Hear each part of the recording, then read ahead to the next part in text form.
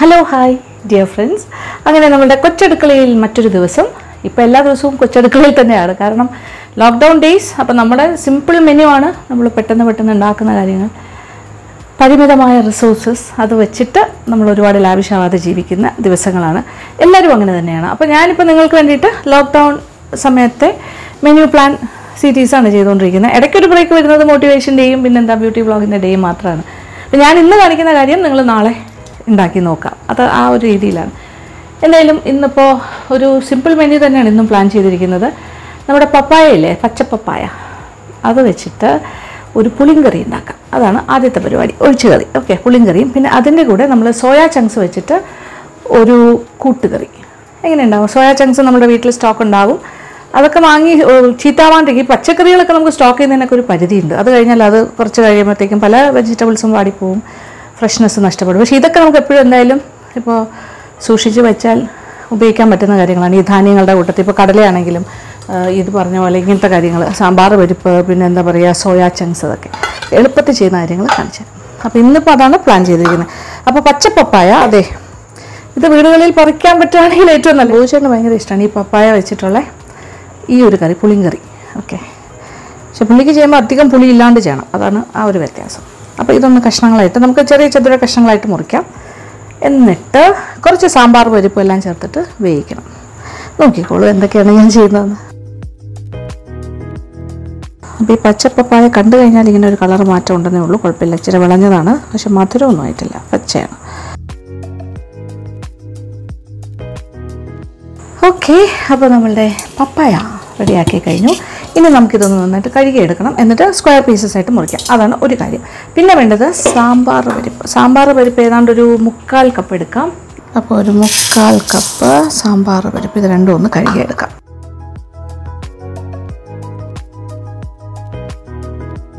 നന്നായിട്ട് കഴുകിയെടുത്തു. ഇനി ഇതിനെ പീസസ് ആയിട്ട് മുറിക്കാം. ഏകദേശം ഒരു രണ്ട് രണ്ടര കപ്പായാലും കുഴപ്പമില്ല. എത്രത്തോളം പപ്പായ നമുക്ക് ഉപയോഗിക്കാൻ പറ്റുമോ അത്ര നല്ലതാണ്. ആരോഗ്യത്തിന് വളരെ വളരെ നല്ല കാര്യമാണ്. പച്ചപ്പപ്പായയും പഴുത്ത പപ്പായയും എല്ലാം.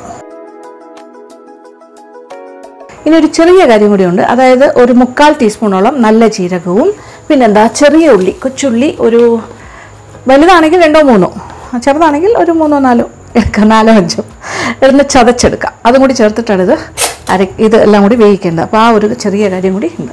ഒരു മുക്കാൽ ടീസ്പൂൺ മുക്കാൽ മുതൽ ഒരു ടീസ്പൂൺ ആയാലും കുഴപ്പമില്ല. നല്ല ജീരകം. ചെറിയ ഉള്ളി.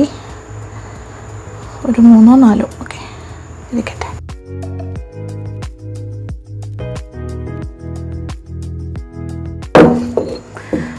ഓക്കെ. ജീരകം കൊച്ചുള്ളി. ഇനി ഇതെല്ലാം കൂടി കുക്കറിലേക്ക് മാറ്റാം. സാമ്പാർ പരിപ്പും പച്ചപ്പപ്പായ ചതച്ച് വെച്ച് മസാല. ഇനി നമ്മുടെ രണ്ട് തൊണ്ടൻ മുളക്. കുറച്ച് ദിവസമായില്ലേ തൊണ്ടൻ മുളകിനെ പറ്റി ഞാൻ പറഞ്ഞിട്ട്. ഓക്കെ രണ്ട് തൊണ്ടൻ മുളക് ഇരിക്കട്ടെ. നിങ്ങൾക്ക് തൊണ്ടൻ മുളക് ഇല്ലെങ്കിൽ പച്ചമുളക് ചേർത്താലും മതി. സാധാരണ പച്ചമുളക്. പിന്നെ രണ്ടോ മൂന്നോ പച്ചമുളക് ചേർത്താൽ മതി. ഇനി ഒരു അര ടീസ്പൂണോളം മഞ്ഞൾപ്പൊടി ഇനി രണ്ട് ടീസ്പൂൺ മുളക് പൊടി പിരിയൻ മുളകിന്റെ പൊടി. എരിവൊക്കെ നോക്കിയിട്ട് രണ്ട് ടീസ്പൂൺ നിറച്ചെടുക്കുക. കുമിച്ചെടുക്കുക. ഇനി ഇച്ചിരി ഉപ്പ്. അപ്പോൾ മുളക് പൊടി നമ്മൾ രണ്ട് ടീസ്പൂൺ നിറച്ച് കുമിച്ചെടുക്കണം എന്ന് പറഞ്ഞു. അതുപോലെ മല്ലിപ്പൊടിയും ഒരു ടീസ്പൂൺ കുമിച്ചെടുക്കുക. ഓക്കെ രണ്ട് കപ്പോളം വെള്ളം.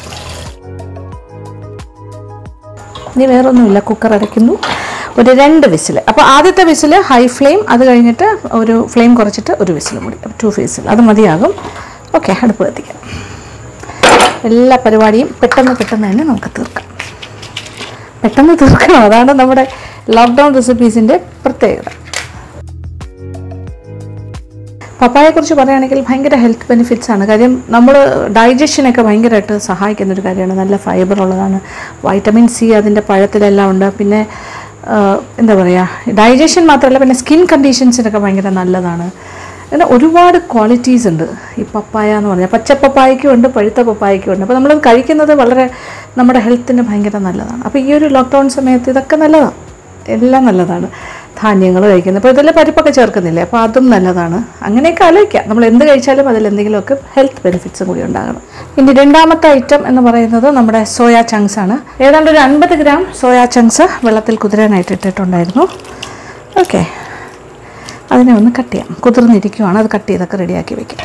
അതെ സോയാ ചങ്ക്സ് വെള്ളത്തിൽ കുതിർന്ന ഒരു ചൂടുവെള്ളത്തിലാണ് ഇടുന്നതെങ്കിൽ ഒരു അരമണിക്കൂർ മുന്നേ ഇട്ടാൽ മതി.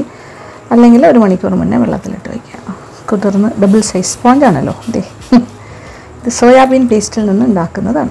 വെരി ന്യൂട്രറ്റീവ് വളരെ വളരെ നല്ലതാണ് ഹെൽത്തിന് ഏത് സൈസ് വേണം അതനുസരിച്ചിട്ട്. വലിപ്പം വേണമെന്നുണ്ടെങ്കിൽ ഇങ്ങനെ രണ്ടായിട്ട് മുറിക്കാം. അതല്ല എന്നുണ്ടെങ്കിൽ മൂന്നായിട്ടോ നാലായിട്ടോ. അപ്പോൾ നമ്മൾ എപ്പോഴും ഒരു ജോലി ചെയ്യുന്ന സമയത്ത് തന്നെ ബാക്കി കാര്യങ്ങൾ കൂടി സൈമിൾട്ടേനിയസ്ലി ചെയ്തുകൊണ്ടിരിക്കുക. അടുത്ത് തന്നെയുള്ള കാര്യങ്ങളൊക്കെ അരിഞ്ഞ് വറക്കി വയ്ക്കുക അങ്ങനത്തെ കാര്യങ്ങൾ. തേങ്ങ ചിരുകണം എന്നുണ്ടെങ്കിൽ അതൊക്കെ നേരത്തെ ചെയ്ത് വയ്ക്കണം അതൊക്കെയാണ് പെട്ടെന്ന് ഫാസ്റ്റ് കുക്കിംഗ് ഒരു ഓർഗനൈസ്ഡ് ആയിട്ട് നമ്മൾ കുക്ക് ചെയ്യണം എന്നുണ്ടെങ്കിൽ അങ്ങനത്തെ കാര്യങ്ങളൊക്കെ ചെയ്യാം. അപ്പോൾ പെട്ടെന്ന് ജോലി തീർത്തിട്ട് അടുക്കളയിൽ നിന്ന് എല്ലാവരും കുറച്ച് റിലാക്സ് ചെയ്യണം. എപ്പോഴും ലേഡീസ് എപ്പോഴും അടുക്കളയിൽ ഇരിക്കുന്നത് ശരിയല്ലല്ലോ. അപ്പോൾ ബാക്കി ആൾക്കാരൊക്കെ എവിടെ ഇരിക്കുന്നു അവിടെ പോയി നമുക്കും ഇരിക്കണ്ടേ? അതിന് വേണ്ടിയിട്ട്. ടി വി കാണണമെങ്കിൽ കാണാം.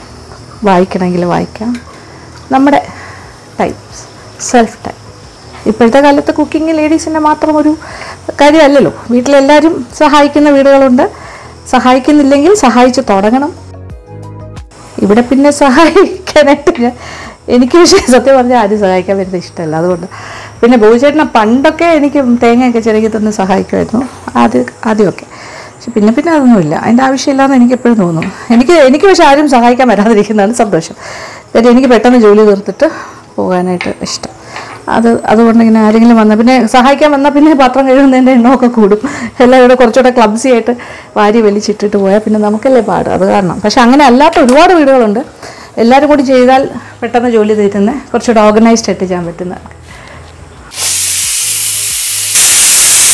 അപ്പോൾ സെക്കൻഡ് വിസിലും വന്നു. ഞാൻ ഇതങ്ങോട്ട് മാറ്റി വെക്കാൻ പോകണം ഇച്ചിരി തണുക്കട്ടെ. ഓക്കെ അപ്പോൾ ഇനി ഒന്നുമില്ല. അതൊന്ന് തണുത്ത് കഴിഞ്ഞിട്ട് ഞാൻ കുക്കർ തുറക്കുന്നു. അത് കഴിഞ്ഞിട്ട് കുറച്ച് പുളിവെള്ളം ഒഴിക്കണം. പുളിവെള്ളം എന്ന് പറയുമ്പോൾ ഇതൊരു വലിയ നെല്ലിക്ക വലുപ്പത്തിൽ എടുത്തിട്ടുണ്ട്. ആവശ്യാനുസരണം ഒഴിക്കാം. ഓക്കെ ഇച്ചിരി വെള്ളം ഒഴിച്ച് വെക്കട്ടെ.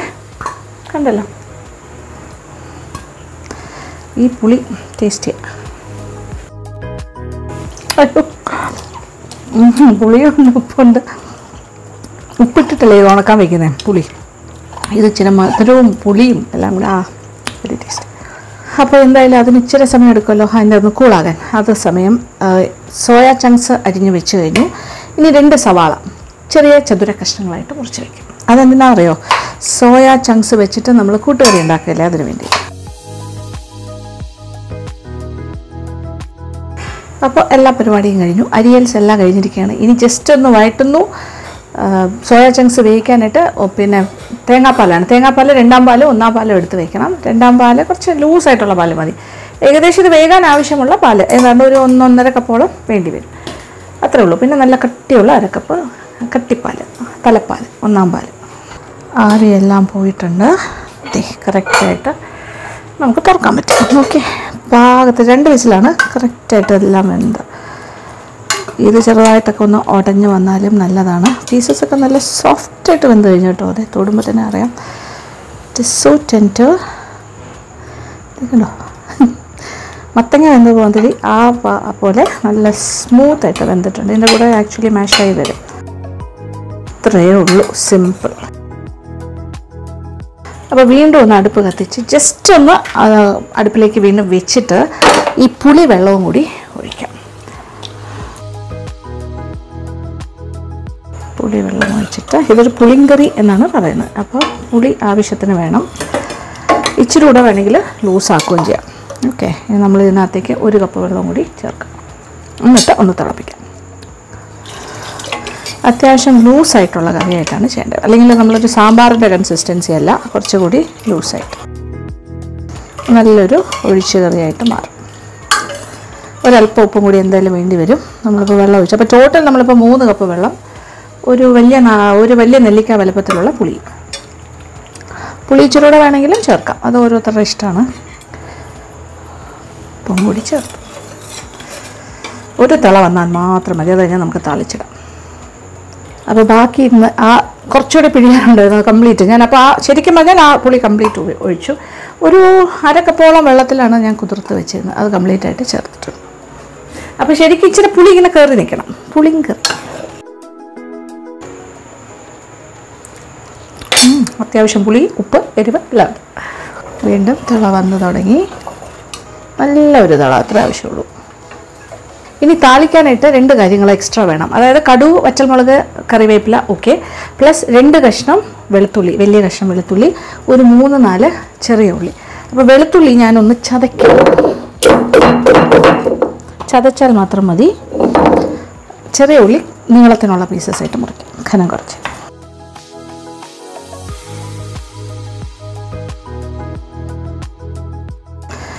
തീ ഓഫ് ചെയ്യാം. ഓക്കെ അല്ലെങ്കിൽ. കഴിഞ്ഞു ഈ അടുപ്പിൽ തന്നെ വെച്ച് നമുക്കൊന്ന് താളിക്കാം. നമ്മുടെ പപ്പായ പുളിങ്കറി ഒരു പാത്രത്തിലേക്ക് ഞാൻ മാറ്റാൻ പോകൂ എന്നിട്ട് താളിച്ചൊഴിക്കാം പാത്രത്തിലേക്ക് മാറ്റി. ഓക്കെ ഇനി താളിക്കൽ ഒരു ഒരു ടേബിൾ സ്പൂണോ അല്ലെങ്കിൽ ഒന്നര ടേബിൾ സ്പൂണോ വെളിച്ചെണ്ണ. ഒരു അര മുക്കാൽ ടീസ്പൂണോളം കടുകും പൊട്ടി തുടങ്ങിയിട്ട് നമുക്കതിലേക്ക് വെളുത്തുള്ളിയും കൊച്ചുള്ളിയും കൂടി ചേർക്കാം. വെളുത്തുള്ളിയുണ്ട് ചെറിയ ഉള്ളിയുണ്ട് രണ്ടാളും ഒന്നിച്ച് പോട്ടെ. തീ ഒന്ന് കുറയ്ക്കട്ടെ. ഇനി സത്യം പറഞ്ഞാൽ ഈ ചൂട് മതി. തീ വേണമെങ്കിൽ ഓഫ് ചെയ്യുകയും ചെയ്യാം. എന്നിട്ട് വറ്റൽമുളകും കറിവേപ്പിലയും കൂടി ചേർക്കാം.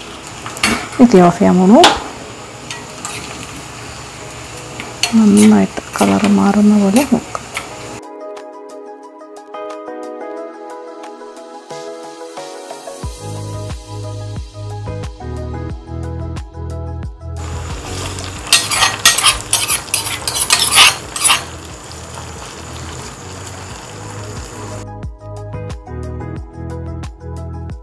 അപ്പോൾ നമ്മുടെ താളിപ്പ് ചേർത്തിട്ട് നന്നായിട്ടൊന്ന് ഇളക്കി യോജിപ്പിക്കുമ്പോഴാണ് ആ ടേസ്റ്റ് കറക്റ്റായിട്ട് വരുന്നത് നമ്മുടെ പുളിങ്കറി ഈസ് റെഡി പപ്പായ പുളിങ്കറി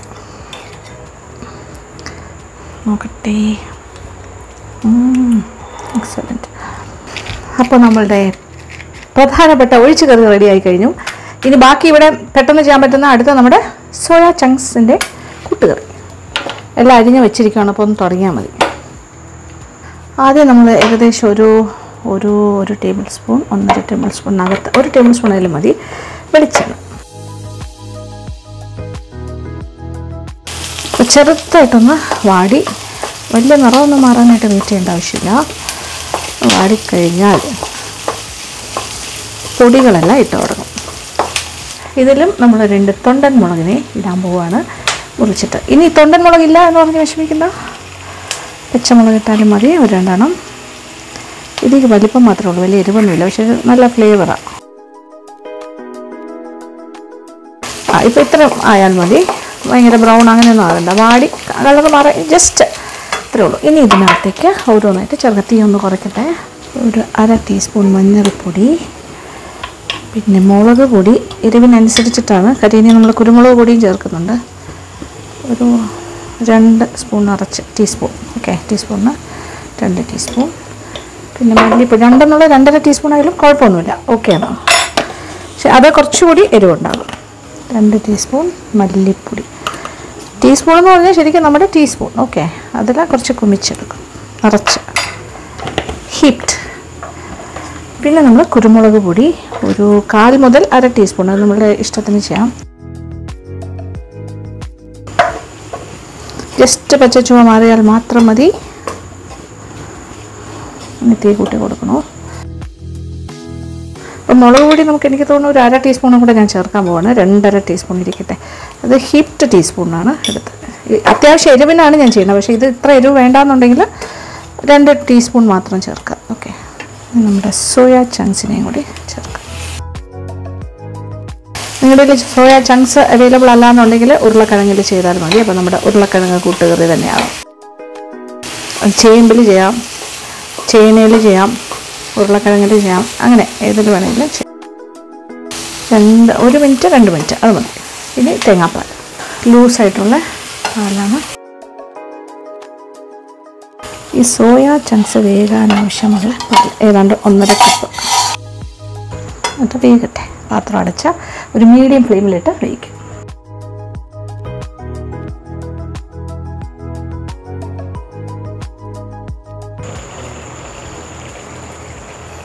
നമ്മുടെ കൂട്ടുകറി ഗെറ്റിംഗ് റെഡി സോയ ചങ്ക്സിന്റെ പീസസ് എല്ലാം പാകത്തിന് വെന്തിട്ടുണ്ട്. അല്പം ചാറായിട്ടിരിക്കുവാണ്. ഇച്ചിരി കൂടെ ഒന്ന് വറ്റിയാൽ മതി. പെട്ടെന്ന് തന്നെ കുറും. ഇത് കഴിഞ്ഞിട്ട് നമുക്ക് ഒന്നാം പാലും കൂടി ചേർക്കാം. അപ്പോൾ നമ്മുടെ കൂട്ടുകറിയുടെ ലാസ്റ്റ് സ്റ്റേജാണ് ഇനി ഇതിൽ നമുക്ക് എത്ര വറ്റിക്കണോ അത്രത്തോളം വറ്റിക്കാം. ഇനി നല്ല കുറുകിയ തേങ്ങാപ്പാൽ ഒരു അര കപ്പ് ഒഴിച്ചു കൊടുക്കാം. ഇനി ഇരുന്നൊന്ന് കുറുകി കൊടുക്കും. ഈ സോയാ ചങ്ക്സ് കുറച്ചുകൂടി ഇങ്ങനെ പിടിക്കുമല്ലോ. നല്ല സ്പോഞ്ചാണ് ഇനി നമുക്ക് തീർന്ന് മാറ്റിയിട്ട് ഇതേ അടുപ്പിൽ തന്നെ താളിക്കാം. ഇനി പാത്രത്തിലേക്ക് മാറ്റി വയ്ക്കാം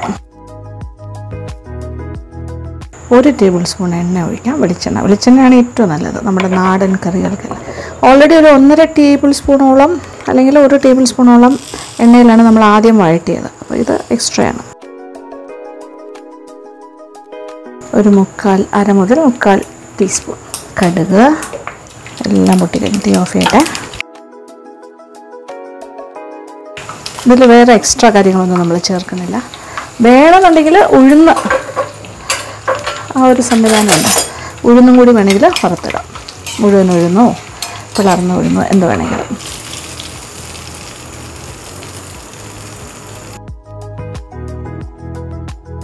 അപ്പോൾ താളിച്ചിട്ടിട്ട് നന്നായിട്ട് മിക്സ് ചെയ്യുക എപ്പോഴും താളിക്കൽ കഴിഞ്ഞിട്ട് മിക്സ് ചെയ്യുമ്പോഴാണ് ആ രുചി കറക്റ്റ് ഇറങ്ങുന്നത് അപ്പോൾ ഇത് ഇരുന്ന് കുറച്ചും കൂടി ഒന്ന് കുറുക്കും. നല്ല സ്പൈസി സ്പൈസി എരിവൊക്കെ നിങ്ങളുടെ ഇഷ്ടത്തിന് ചേർക്കുക മാറ്റുക. ഓക്കെ കുറവ് വേണമെങ്കിൽ അങ്ങനെ. അപ്പോൾ രണ്ട് കറിയും റെഡി ഇനി അതിന്റെ ടേസ്റ്റിംഗ് ഞാൻ ഇടയ്ക്കിടയ്ക്ക് ഉപ്പ് നോക്കുന്നുണ്ടായിരുന്നെങ്കിൽ നിങ്ങൾക്ക് പറഞ്ഞു തരണമല്ലോ ഓക്കെ. ആഹാ. കുറച്ച് പുളിയേ ഉള്ള. നല്ലൊരു പുളിങ്കറിയാണ് സാമ്പാർ പോലെ തോന്നും പക്ഷേ സാമ്പാറിന്റെ ടേസ്റ്റേ അല്ല. ഇത് നമ്മൾ കായപ്പൊടി ഉലുവ അങ്ങനത്തെ കാര്യങ്ങളൊന്നും ചേർക്കുന്നില്ല. അതൊരു കാര്യം. പിന്നെ വേറെ വെജിറ്റബിൾസ് ഒന്നും ഇല്ലല്ലോ. പുളിയും പരിപ്പ് പപ്പായ മുളക്. സോയാ. ഞാൻ വിചാരിച്ചു ഇച്ചിരി എരിവ് കൂടുതലാണ് നല്ല കറക്റ്റ് പാകത്തിന് എരിവ്. അപ്പോൾ ഇത്ര എരിവ് തന്നെ ഇട്ടുള്ളൂ കുഴപ്പമില്ല. ഇനി ഇതിന്റെ കൂടെ വേറെ കാര്യങ്ങളൊന്നുമില്ല ഇത് രണ്ടും ചുമന്ന കറിയായിട്ട് തോന്നുന്നുണ്ടാവാം അല്ലേ? രണ്ടും ഒരു റെഡ് കളറാണ് ഓറഞ്ച് റെഡ് ഇതിന്റെ കൂടെ കുറച്ച് തൈര്. അച്ചാറ് വേണ്ട രണ്ടും നല്ല അത്യാവശ്യം സ്പൈസിയാണ് തൈരാകാം പപ്പടമാകാം. സുഖമായിട്ട് കഴിക്കാൻ പറ്റും ഇഷ്ടമാവും ഉണ്ടാക്കി നോക്കാം. അപ്പം ഇന്ന് നമ്മളുടെ ഭക്ഷണം ഇതാണ്. അപ്പോൾ നിങ്ങൾക്കും ഒരു ദിവസത്തെ മെനു ഇതാക്കാം. ഓക്കെ അപ്പോൾ എന്തായാലും വളരെ വളരെ സന്തോഷം. അപ്പോൾ നിങ്ങൾക്ക് വേണ്ടിയിട്ട് ഞാനിപ്പോൾ ഒരു നമ്മളുടെ വീട്ടിൽ ഉണ്ടാക്കണ ഭക്ഷണം തന്നെ ഒന്ന് ഷെയർ ചെയ്യണം. അപ്പോൾ ഉണ്ടാക്കിയിട്ട് ഫീഡ്ബാക്ക്സ് തരണം. നിങ്ങൾക്ക് ഈ വീഡിയോ ഇഷ്ടപ്പെട്ടു കാണുമെന്ന് തന്നെ വിചാരിക്കട്ടെ. ഇഷ്ടപ്പെട്ടുണ്ടെങ്കിൽ അറിയാലോ എന്തൊക്കെ ചെയ്യണമെന്ന്. ലൈക്ക് കമന്റ് നിങ്ങളുടെ ഫ്രണ്ട്സുമായിട്ടൊക്കെ എന്റെ ലിങ്കൊക്കെ ഷെയർ ചെയ്ത് കൊടുക്കുക. അവരും ഉണ്ടാക്കട്ടെ. ലോക്ക്ഡൗൺ സമയത്തെല്ലാം. ഓക്കെ. ലോക്ക്ഡൗണിന് മാത്രം ആക്കണ്ട. അല്ലാത്ത സമയത്ത് നമുക്ക് ഇടയ്ക്കൊക്കെ ഉണ്ടാക്കല്ലോ. പക്ഷേ ലോക്ക്ഡൗൺ ആകുമ്പോൾ നമ്മൾ ഒരു രണ്ട് കറിയിലൊക്കെ ഉണ്ടാക്കി അതുകൊണ്ട് തൃപ്തരാകാനായിട്ട് ശ്രമിക്കുന്നു എന്ന് മാത്രം. അപ്പോൾ thank you so much thank you for watching ആ ഇനി പുതിയതായിട്ട് നമ്മുടെ ചാനലിൽ ആരെങ്കിലും ഒക്കെ വന്നിട്ടുണ്ടെങ്കിൽ കണ്ടുകൊണ്ടിരിക്കുകയാണെങ്കിൽ please to subscribe to our channel and be part of L N vlogs family YouTube family ഒരു ബില്ലൈക്കണം കൂടി പ്രസ് ചെയ്യാം. ഓക്കെ അപ്പോൾ thank you so much thank you for watching and keep on watching Lakshmana vlogs